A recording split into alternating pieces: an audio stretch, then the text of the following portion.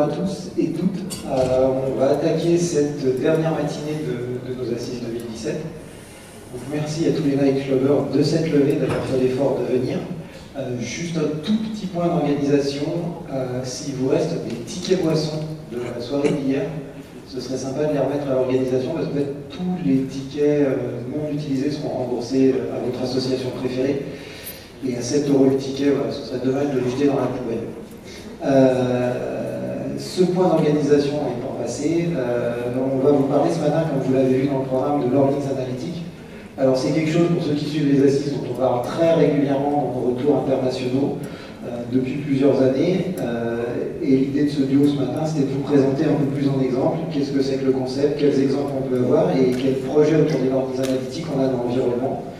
Donc pour ça, on a Benjamin, euh, et Alain qui nous présenteront euh, des choses. Donc Benjamin vient de l'Université de Lorraine et travaille à la sous-direction des infrastructures à la direction du numérique et s'occupe de learnings analytiques. Et Alain est là aujourd'hui au titre du consortium ESUP, euh, dont il est le président. Donc ce qu'on aura, c'est qu'Alain va commencer en nous introduisant les concepts de learnings analytiques, les acteurs, les enjeux, l'organisation autour des SUP et le lien avec les tutelles. Euh, et ensuite, euh, Benjamin essaiera de vous inviter à un tour du monde euh, des learnings analytiques et quatre, quatre étapes. Et après, on fera un petit focus sur le learning analytique en France et la plateforme qui est en train d'être développée. Tout ça en 40 minutes maxi pour laisser le temps d'avoir un peu de questions-réponses. Voilà, Alain, je te laisse la parole. Merci, bonjour à toutes, bonjour à tous. Oui, donc avant de parler du projet par lui-même, donc par Benjamin, euh, je vais faire quelques rappels des concepts des learning analytiques et essayer de positionner la démarche que nous avons engagée au sein de SUP par rapport à, ce domaine. Donc les learning analytiques, euh, on parle beaucoup de big data, on parle beaucoup de corpus de données de grande capacité. Donc là, on est sur vraiment les données sur le comportement des, apprenants. On est sur une, discipline qui est euh, nouvelle. Donc on a des projets qu'on peut classer comme émergents. Et on est sur la conception d'outils logiciels, d'algorithmes pour faire de la prédiction notamment, et pour faire du suivi, donc d'analyse de comportement. Donc avec bien sûr des objectifs, améliorer donc les dispositifs numériques de formation pour euh, améliorer l'apprentissage donc des étudiants ou des apprenants dans le cadre de la FTF. Alors souvent on m'interroge sur euh, l'intérêt des learning analytics et pourquoi mettre en place ces dispositifs. Donc j'ai essayé de, reposer les quatre euh, grandes questions. Quoi, pourquoi, qui, comment. Donc pourquoi ben, L'objectif c'est d'adapter donc les scénarios pédagogiques dans les environnements de formation par rapport à, l'observation du comportement des étudiants. Euh, c'est de personnaliser. On parle beaucoup d'adaptative learning dans l'évolution des plateformes LMS. C'est également pour les équipes pédagogiques de donner des recommandations et, comme on le verra à travers les différents modèles qui sont conçus, euh, notamment avec, en lien avec la recherche, donc de faire de la prédiction et de prévoir, hein, par exemple, certains étudiants donc, à risque et de détecter très rapidement hein, que ces étudiants euh, risquent d'échouer dans leur parcours et de leur proposer donc soit des interventions humaines, hein, par du tutorat par exemple, ou des interventions hein, à travers l'évolution des dispositifs de, formation. Et d'une manière globale, pour euh, la gouvernance, euh, qu'elle soit politique en termes de stratégie numérique ou pour les équipes pédagogiques, ben, c'est de suivre et analyser les, différentes données concernant la formation. Donc quoi hein, Ces données, les environnements numériques de formation d'une manière donc, euh, très large, le SI bien sûr, parce qu'on a besoin de connaître les profils des étudiants. Hein, on est quand même sur des systèmes, donc euh, non pas anonymisés, mais on est également sur des systèmes hein, où on suit personnellement donc, les étudiants, donc le lien avec euh, le SI. Et pour qui Donc les, ben, les apprenants, les enseignants, la gouvernance, la recherche qui est donc fortement associée, et bien sûr les ingénieurs pédagogiques hein, qui ont en charge de la mise en place des, plateformes de, formation. Alors comment ben, ça, Benjamin nous montrera avec des statistiques, des tableaux de bord hein, et des, dispositifs d'analyse et l'évolution hein, donc des, dispositifs d'adaptative learning. Ce qui intéresse le, monde de la recherche, parce que je pense que c'est un domaine qui est fortement lié aujourd'hui à la recherche, c'est comprendre les interactions entre les apprenants comprendre les, comportements de l'apprenant vis-à-vis des dispositifs numériques que vous mettez en place dans, l'établissement, et c'est également modéliser hein, les, activités d'apprentissage pour bien comprendre hein, l'évolution des scénarios pédagogiques et les, les évolutions que l'on peut apporter. Donc la recherche finalement contribue à la conception hein, de ces algorithmes et des méthodes de suivi, et toujours dans un objectif vraiment d'adapter hein, et favoriser donc l'apprentissage. Donc où en sommes-nous aujourd'hui hein, euh, J'ai voulu représenter un petit peu le positionnement des learning analytiques par rapport à ce qu'on avait l'habitude de faire en termes d'analyse de traces. Euh, donc on est aujourd'hui habitué à faire de l'observation et de l'usage des, services numériques, hein, les indicateurs d'usage. On commence à expérimenter, notamment avec Agimus, hein, du, lien de, l'interaction entre les données euh, d'usage des services numériques et les profils des usagers.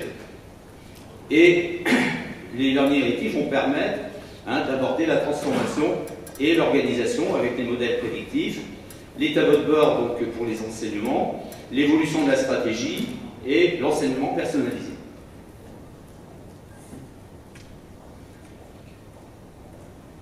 Alors, il faudra prendre en également l'évolution des architectures de formation. Hein, D'un LMS, on est habitué des LMS très centralisés, avec une répartition, une distribution des contenus, des applications et des scénarios pédagogiques mettre en place les, les, connecteurs donc, euh, vers, non pas uniquement les LMS, mais vers d'autres outils, hein, comme les outils collaboratifs. On peut le retrouver hein, dans ce schéma d'évolution des architectures de, formation. Hein. donc là, il y a tout un travail à faire sur l'évolution des connecteurs pour alimenter donc, les bases de données de traces. Donc la démarche que nous avons euh, suivie, est une démarche de coopération donc, avec euh, Apereo, donc le consortium Supportail est en partenariat avec la fondation Apereo au niveau international, euh, parce que Apereo avait mis en place une communauté d'intérêt et a commencé depuis deux ans à mutualiser du développement en open source de composants euh, permettant justement d'aborder les learning analytics. Donc ça nous a paru intéressant hein, de capitaliser sur ces développements et de contribuer à cette démarche et de même, Apereo travaille dans, ce cadre avec donc, le, réseau Solar, qui est un réseau de recherche, hein, qui aborde justement des aspects learning analytique. Et il y a donc régulièrement des, réunions organisées avec les chercheurs pour faire évoluer cette plateforme, qui est une plateforme ouverte, euh, donc dans un concept de partage, d'échange d'expériences, de, contribuer à l'enrichissement des, composants open source euh, et des algorithmes. Et notre objectif est d'avoir une démarche donc, nationale pour, euh, d'une part, euh, capitaliser les expériences et aussi proposer des services adaptés à la communauté d'enseignement supérieur et de recherche française, hein, toujours dans des objectifs, un, de pilotage, et pour la gouvernance, et deux, euh, d'aider finalement les équipes pédagogiques hein, dans l'évolution de la mise en place du numérique pour la formation. Et cette plateforme, donc là, Benjamin y viendra donc longuement, est une plateforme donc euh, multitenant en mode club euh, qui est très flexible. Hein. On verra l'exemple du GISC en Angleterre qui a installé un environnement qui est ouvert en fait pour cinq établissements. Mais on peut très bien installer également cette plateforme dans une université comme le font les universités américaines. Donc qui est constituée de quatre grands modules que vous allez trouver hein, sur ce schéma, des modules de, de, stockage, des modules de connexion avec les environnements numériques de formation, les modules qui permettent donc d'exécuter les algorithmes de, prédiction, et également donc la partie stockage, la partie publication des tableaux de bord, et également la partie action, c'est-à-dire comment agir après sur les dispositifs de formation à partir hein, donc des algorithmes et à partir des traces donc, qui ont été mémorisées. Et pour terminer cette introduction, donc comment nous avons organisé ce projet au sein du consortium SUP? Euh, nous sommes partis d'un séminaire organisé donc en décembre 2015 sur les learning analytics. On avait fait venir justement des, hein, des collaborateurs aux États-Unis, des collaborateurs du GISC pour parler de leur expérience. Nous avons organisé une réunion entre la direction d'Apereo, la Consommation de sucre et le ministère donc, pour positionner donc, le ministère dans la démarche internationale, suivi d'un workshop pour bien comprendre d'une manière précise et le fonctionnement de cette plateforme par Unicon, qui est en fait une société américaine qui a contribué fortement à la réalisation de la plateforme, une convention a été établie donc, euh, avec euh, la DGCIP MIPNES et le consortium SUP pour soutenir cette action dans le cadre notamment des appuis à la transformation pédagogique.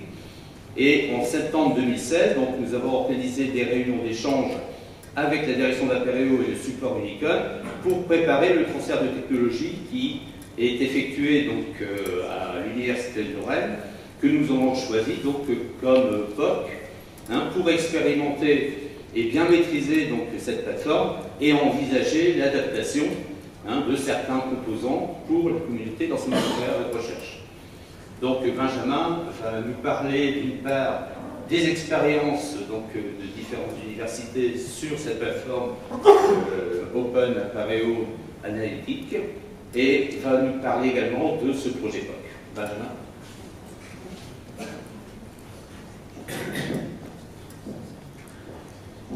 Bonjour à tous.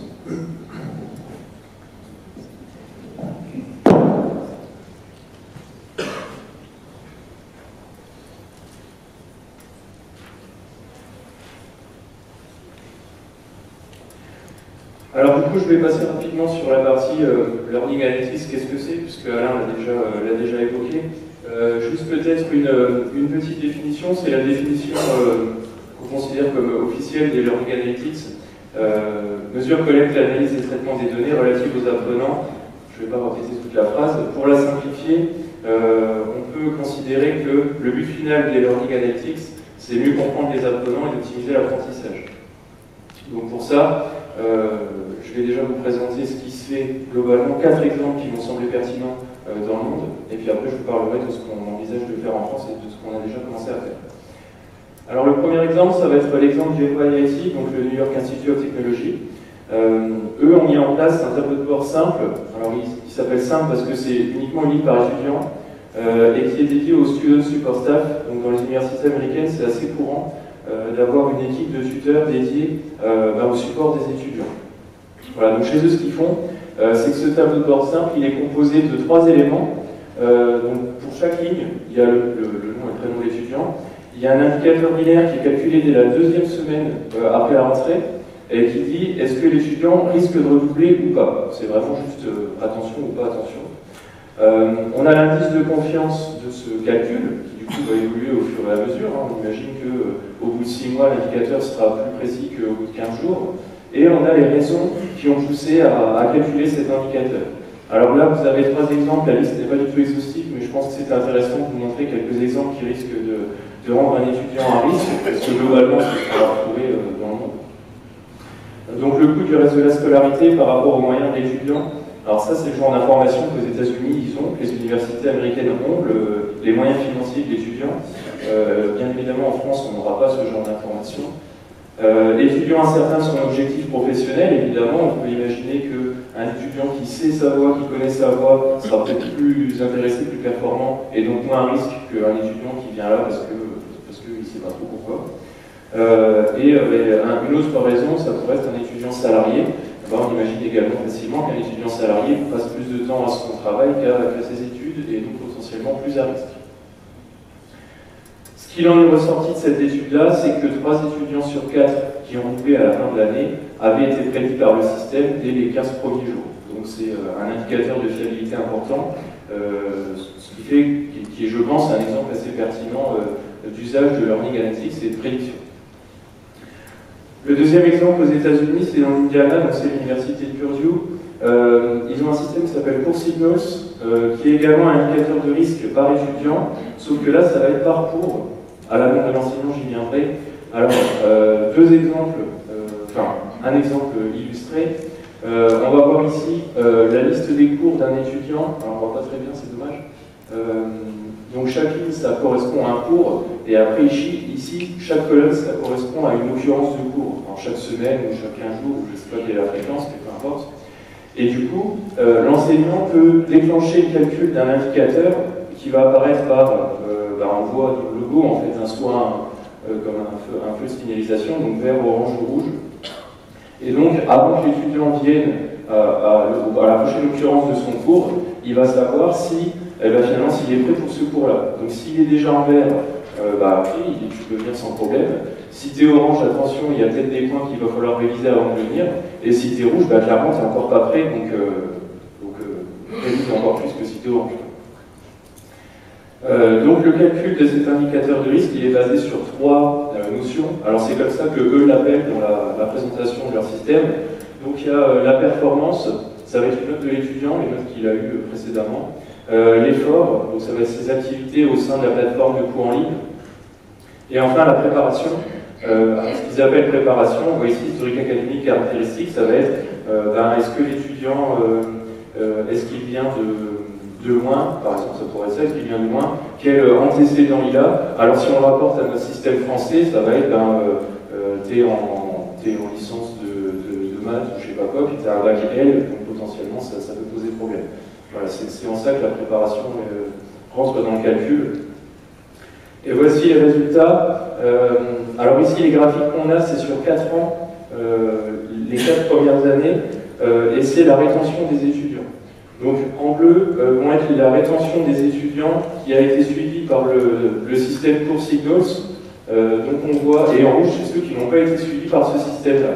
Donc on voit qu'il y a un différentiel d'à peu près 20% à chaque fois. Donc globalement, on, peut, synthétiser en disant que ceux qui ont été suivis par Cours euh, se sont mieux débrouillés à, 20% euh, que, ceux qui n'ont pas été suivis. Et il y a également deux autres petits points euh, qui sont constatés, c'est qu'il y a environ 12% de plus de notes BSC, donc c'est le système de notation américain, A, B, C, D, F, A étant la meilleure note, F la moins bonne. Donc 12% de plus de notes BSC, 14% de moins de notes DF. Voilà, donc on voit vraiment une augmentation globale de la performance des étudiants qui sont suivis par ce système-là.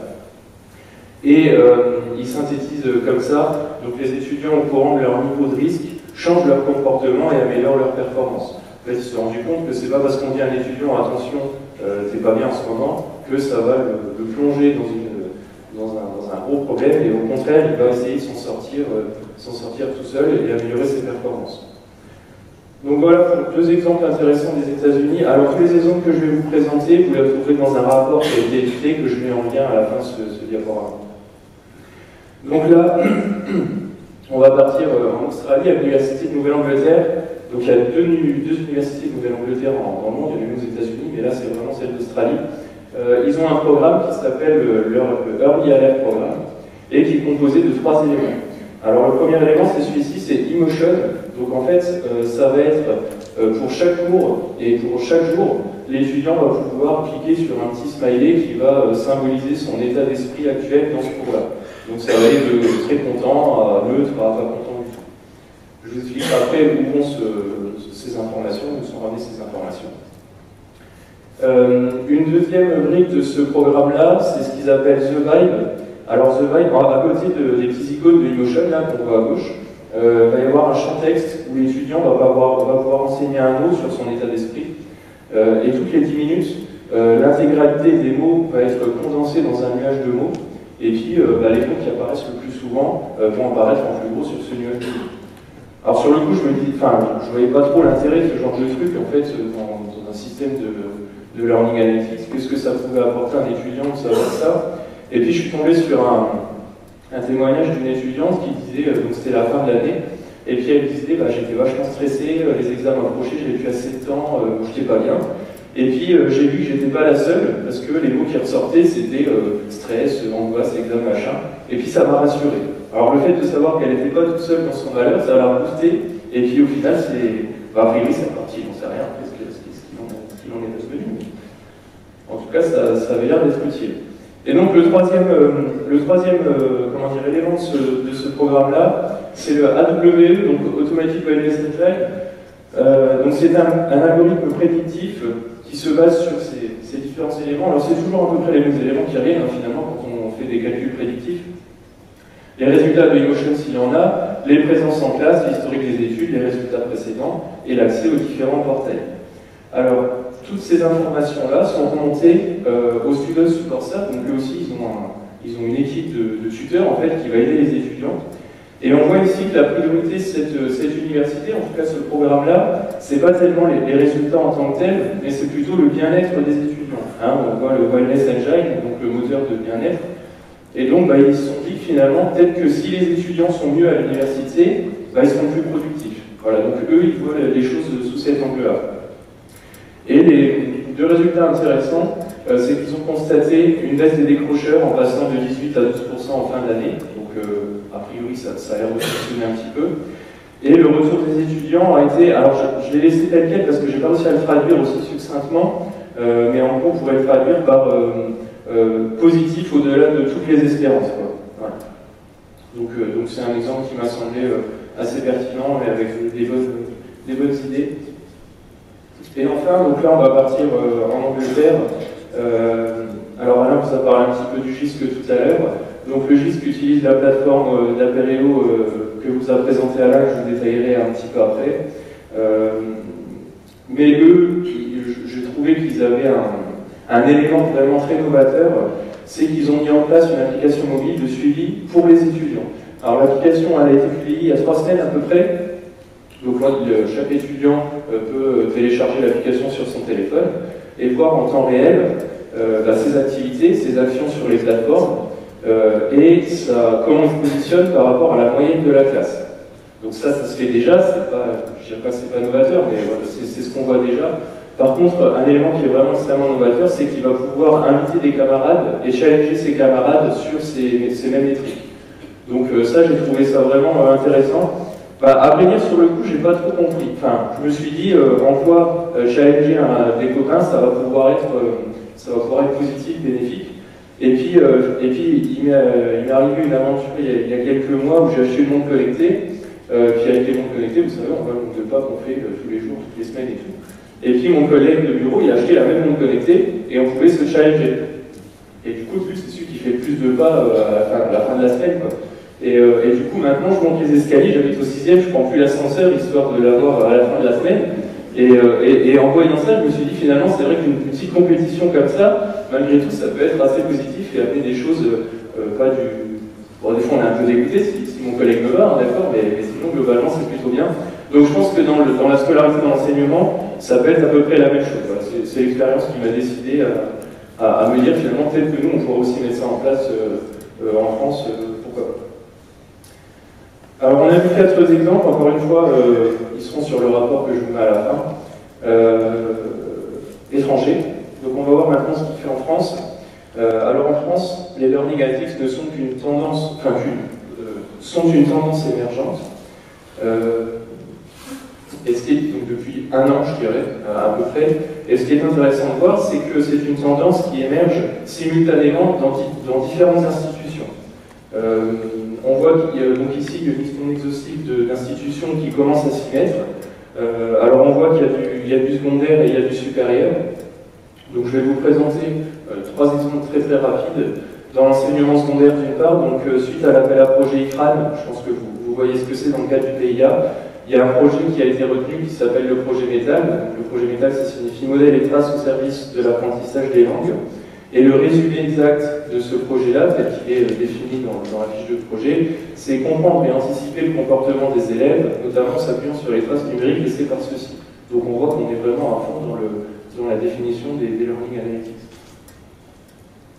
Alors ensuite, au niveau du portail, bon, je ne vais pas paraphraser ce qu'a dit Alain, mais en gros, sur portail, il y a des financements du ministère, que pour effet de déclarer l'Université de Lorraine, pour, enfin désigner l'Université de Lorraine pour réaliser une, une preuve de concept. Et donc, il y a un prestataire euh, qui nous a aidé à ça. Euh, donc, c'est Unicode, la société de services américaine. Donc, ils sont venus en France à Nancy euh, pendant trois jours pour nous présenter la plateforme d'Apereo que, ont développée du coup. et donc, le troisième, le troisième élément, ça va être l'Université de Lorraine en tant que telle, pour reçu, mais je dirais pour elle-même, suite à l'appel à projet d'une, donc que j'imagine que vous connaissez également. Euh, il y a un projet qui est porté par l'Université de Strasbourg et en collaboration avec, avec euh, l'Université Lorraine et l'Université de Reims-Champagne-Ardenne qui a été retenu. Alors ce projet-là, il y a plein de volets qui, qui, englobent plein de choses et il y a un volet parmi tous ces volets qui, concerne les learning analytics. Et donc, il va falloir que l'Université de Lorraine mette en place, enfin, étudie et mette en place un, projet de learning analytics au sein bah, de, notre établissement. Donc, pour ça, on a eu des financements pour recruter un ingénieur à la direction du numérique pour deux ans, pour m'aider du coup à travailler sur ce projet-là, et également pour recruter un post-doctorant lauréat. Donc, le lauréat, c'est le laboratoire de recherche en informatique avec lequel on travaille pour deux ans également, pour travailler sur les algorithmes prédictifs. Alors des rencontres sont à venir avec les laboratoires euh, d'informatique d'une part, j'y reviendrai un petit peu après, mais également sciences de l'éducation. Alors l'informatique parce que eux vont pouvoir calculer des algorithmes prédictifs, et puis sciences de l'éducation, c'est eux qui vont pouvoir nous éclairer pour dire, bah, ok, euh, vous avez des étudiants qui ont 30% de risque d'échec, bah, qu'est-ce qu'on en fait maintenant en fait? Et donc l'implication d'enseignants évidemment, parce que euh, tout ça, ça sera en lien avec les enseignants, comme je le montrerai un petit peu après. Alors maintenant, je vais vous présenter un petit peu plus en détail, mais encore une fois très succinctement, euh, la, la brique technique d'Apereo, donc la Learning Analytics Initiative. Alors je vais commencer par vous expliquer les sources de données en bas à gauche. Euh, donc on l'a vu, hein, les Learning Analytics, euh, c'est récupérer les traces laissées par les étudiants sur les différentes plateformes pour pouvoir les agréger et, en, et, en, faire des algorithmes, et passer des algorithmes prédictifs dessus. Donc la source de données qui, semble tout de suite qui vient à l'esprit, c'est le LMS. Alors nous, notre LMS, c'est Moodle. Euh, dans notre Moodle de l'Université de Lorraine, on a à peu près 10 000 cours, donc c'est vraiment un service qui est, bien utilisé, et du coup c'est une source de, traces numériques et de données vraiment très intéressantes.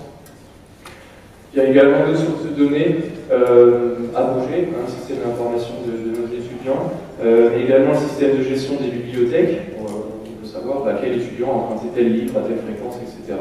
Et puis on peut avoir également d'autres sources de données, les traces de connexion Wi-Fi, euh, les données extraites de, l'ADE, ce genre de choses-là. Alors je distingue deux types de sources de données. Euh, les sources de données dites d'événements qui vont être en temps réel, donc c'est euh, principalement sur la plateforme LMS, hein, tel utilisateur s'est connecté à telle heure, tel utilisateur a écrit tel post sur un forum, a déposé un devoir, a fait ça. Et puis les autres types, euh, de, données, ça, je l'appelle comme ça, mais je n'ai pas trouvé de meilleur nom, c'est les données le système d'information, qui sont des données non plus en temps réel, mais plutôt des données d'état, dire bah, tel étudiant, euh, il a eu telle note, il a tel background euh, académique, il vient de tel bac ou telle formation, etc. D'autres informations qu'on peut récupérer, enfin qu'on va récupérer euh, ça va être également est-ce que cet étudiant euh, a des enfants, est-ce qu'il est salarié, euh, est-ce qu'il est handicapé, quel type de handicap il a, est-ce que c'est un handicap moteur, un handicap visuel, un handicap cognitif, est-ce qu'il est boursier, voilà, tout un tas d'informations qu'on dispose dans le système d'information et qu'on va pouvoir récupérer, agréger et, et, retranscrire. Donc ces données-là, on va les mettre dans, dans la base de données euh, donc après, on appelle ça le Learning Record Warehouse. Alors techniquement, c'est une base de données NoSQL, MongoDB. Et je vais passer très rapidement, mais en, gros, on va y envoyer les données provenant des sources de données. Alors suite à ça, une fois que ces données auront été agrégées dans, la base de données, on va pouvoir en ressortir des tableaux de bord. Simple. Alors on voit ici qu'il n'y a encore pas de notion de prédiction. Hein, ici, c'est simplement, c'est déjà beaucoup, mais je veux dire, on va agréger les informations et les retranscrire sous forme de tableau de bord. Et donc la brique, euh, une des briques les plus importantes, finalement la deuxième brique principale, ça va être euh, la brique, euh, je dirais Big Data, qui est basée sur du Hadoop, dans laquelle on va en fait décharger la base de données à une certaine fréquence, ça n'a pas encore été défini. On va y faire tourner les algorithmes prédictifs et on va renvoyer les informations ainsi obtenues dans la base de données. Donc pour chaque étudiant, on va décharger ces informations, on va faire passer les algorithmes et on va renvoyer sa note de risque s'affiche, entre guillemets, dans la base de données. Et on va pouvoir compléter notre tableau de bord en y indiquant le taux de risque, en plus de toutes les autres, euh, les autres informations qu'on va pouvoir y trouver. Alors, la Learning Analytics Initiative vient également avec un, dernier, euh, un dernier outil qui s'appelle le Student Success Plan et qui va être en fait un outil qui va lister tous les étudiants à risque et dans lesquels on va pouvoir euh, bah, prendre, faire, des actions et historiser des actions, donc contacter un étudiant, euh, voir qu'est-ce que ça a impacté, etc. C'est une brique qu'on ne va pas utiliser à l'Université de Lorraine pour l'instant, on sera déjà bien, bien occupé à faire les autres. Alors pour terminer, les grandes étapes de ce projet-là, alors je pense que c'est à peu près les grandes étapes de tout projet de Learning Analytics, et je pense que quand d'autres universités euh, françaises s'y mettront, il faudra passer par ces étapes-là également. Donc ça va être une liste ordonnée, euh, comprendre dans un premier temps ce que sont les Learning Analytics. Hein, euh, learning Analytics, c'est un petit peu un buzzword en ce moment, on entend pas mal parler dans le milieu de l'enseignement. Bah, qu'est-ce que c'est exactement? Alors j'espère vous avoir fait comprendre un petit peu ce que c'est avec les différents exemples que j'ai présentés. Étudier la solution technique. Alors, euh, on l'a vu précédemment, la solution technique est assez complexe. Alors, j'y pense, il y a une dernière chose que je n'avais pas évoquée. Euh, j'ai mis des petits mots ici entre chaque, euh, entre chaque brique, parce qu'en fait, ce sont, des, ce sont des normes qui sont ouvertes. Donc, la communication entre ces briques-là n'est pas du tout propriétaire, c'est que du, librement utilisable. C'est du XAPI, du Caliber, voilà, pour ceux que ça parle, du OneRooster et ce qui fait qu'on va pouvoir prendre les briques euh, indépendamment et brancher nos propres briques à l'intérieur.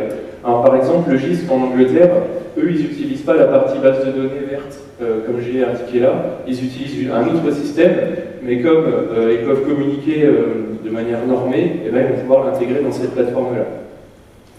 Du coup, j'en viens à, cette solution technique, donc ça a été une étape importante d'étudier la solution technique, pour savoir comment, comment elle fonctionne, tout simplement. Donc c'est pour ça que les Américains sont venus nous aider en France à, comprendre le fonctionnement.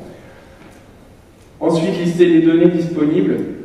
Alors, on a beaucoup de données. Hein, euh, je vous en ai présenté quelques-unes, des données de traces de nos étudiants, des données de système d'information, etc. Euh, donc il faut les lister. Et une fois qu'on a listé les données disponibles, il faut qu'on fasse ressortir uniquement les données nécessaires. D'accord? On ne va pas prendre toutes les données que laissent les étudiants partout ça n'aurait pas de sens, euh, mais il faut prendre que les données nécessaires. Alors un point très important, vous l'avez, euh, j'imagine, compris, c'est qu'on a dû consulter très rapidement le correspondant informatique et liberté, parce que ben, finalement aux États-Unis, ils n'ont pas trop ce problème-là. Aux États-Unis, ils prennent tout et puis ils voient ce qu'ils font après, alors, en niveau de, données. a déjà vu le, cas précédemment. Nous, c'est pas ça. Nous, on a des restrictions qui sont assez, euh, assez importantes au niveau de la législation française sont très très bien. Mais en tout cas, il faut, il faut vraiment faire attention. Euh, alors si jamais il y a des questions sur ce sujet après, je, je, détaillerai un petit peu. Ensuite, il faut élaborer des scénarios d'usage, parce que bon, bah, on a plein de données, on peut en faire plein de choses, mais il va falloir se concentrer sur quelques scénarios au début pour, pour euh, mieux appréhender la plateforme. Ensuite, il faut structurer les données. Encore une fois, on a des tonnes de données, des données d'usage, des données de système d'information, tout ça. Il va falloir les structurer correctement pour les mettre dans la base de données correctement, pour après les interroger correctement. Intégrer les données dans l'entrepôt de données, donc ça, ça va de pair avec la structuration. Une fois qu'on a fini de structurer les données, euh, il faut faire les scripts qui vont aller de manière euh, avec certaines fréquences, donc euh, les envoyer dans l'entrepôt de données. Une fois que ces données sont dans l'entrepôt, on va pouvoir créer les premiers tableaux de bord.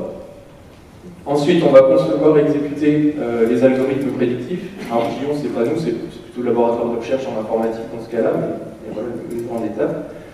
Et une fois que les algorithmes prédictifs seront passés, eh ben, on va pouvoir compléter les tableaux de bord avec ces nouvelles informations ainsi obtenues. Alors, nous, actuellement, à l'Université de Lorraine, on en est à peu près à cet endroit-là. C'est-à-dire qu'on a à peu près fait tout ce qu'il y a au-dessus, et là, on intègre euh, les données dans l'entrepôt de données, donc ça met en relation différentes sous-directions dans notre direction du numérique. Donc euh, voilà, on travaille euh, en collaboration pour récupérer les données qui vont bien et puis les importer dans la base de données qui va bien. Voilà, donc après ça, l'élaboration des premiers tableaux de bord sera à suivre dans, les semaines qui arrivent et la conception et l'exécution des algorithmes prédictifs sera un gros point, une grosse étape parce qu'on n'a pas l'habitude de faire la technologie Big Data à l'université. Donc bah, il va falloir, falloir s'y mettre. Euh, voilà, j'ai terminé. Comment est-ce que vous intégrez les shadow activities, tout ce qui va se faire en dehors du système d'information de l'établissement et qui est quand même des activités des étudiants dans son apprentissage? Alors pour l'instant, c'est une question, c'est une question qui est, euh, qui est, complexe à traiter. Euh, merci. Alors, on va pour l'instant se concentrer dans, sur les services qu'on maîtrise nous. Hein. Évidemment, ça serait plus simple à interroger. Et après, pour les activités externes, eh il va falloir qu'on mette en place des formulaires déclaratifs, un petit peu comme ce que font euh, en Australie avec les petits smileys, où là, c'est les étudiants qui disent euh, je suis bien, je suis pas bien. et ben, on peut imaginer que, les étudiants auront un formulaire qui dira eh ben, j'ai été sur YouTube pour regarder une vidéo de je sais pas quoi, et puis je suis allé sur une plateforme externe pour faire ci, pour faire ça. Voilà. Mais il est bien évident qu'on ne va pas pouvoir aller chez tous les prestataires extérieurs pour mettre notre petit plugin pour remonter les informations chez nous. Donc voilà, on se penche sur, sur un, formulaire déclaratif. Alors, bah, du coup, s'il me reste 5 euh, minutes, je vais juste euh, détailler un petit peu la partie euh, informatique et liberté.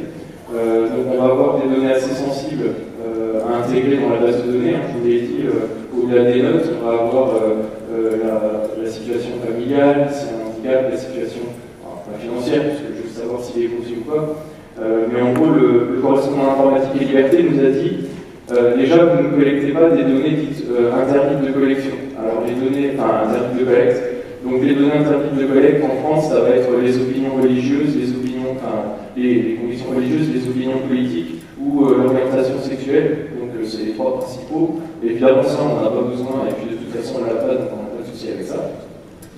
Et pour le reste, tout ce qu'on souhaite récupérer, euh, il faut donc qu'on le déclare auprès du registre du site de notre établissement. Donc on dit pour ce projet-là, on a besoin de ces données pour les traiter de telle manière et pour les conserver pendant tant de temps alors on a défini qu'on allait les conserver pendant toute la, scolarité de l'étudiant. Quand l'étudiant est à l'université, on a ces données, on analyse ces données, et après on les anonymise. On les conserve pour établir des profils, mais on les anonymise.